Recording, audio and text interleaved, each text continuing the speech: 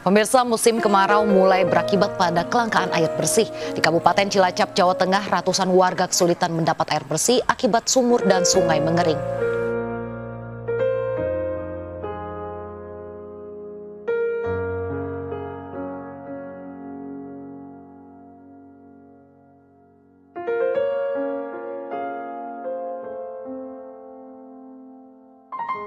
Sambil membawa jaringan dan ember, ratusan warga desa Bojong, kecamatan Kaungaten, Kabupaten Cilacap, Jawa Tengah, menyerbu truk tangki air bersih dari BPBD. Dalam hitungan kurang dari satu jam, truk tangki yang membawa ribuan liter air bersih ini langsung ludes didistribusikan ke warga.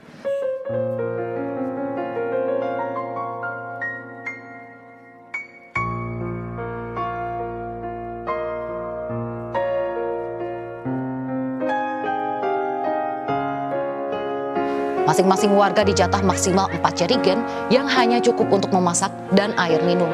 Sementara untuk mencuci, warga harus berburu air bersih keluar desa.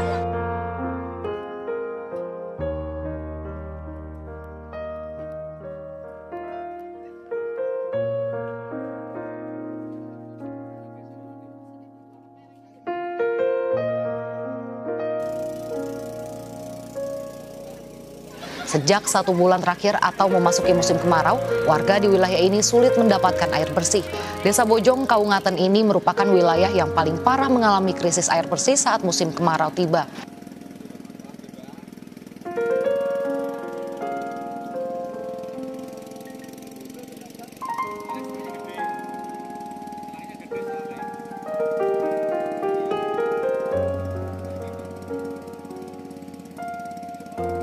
Selain mengandalkan pasokan dari BPBD, warga juga terpaksa membeli air bersih dari pedagang air keliling demi memenuhi kebutuhan sehari-hari.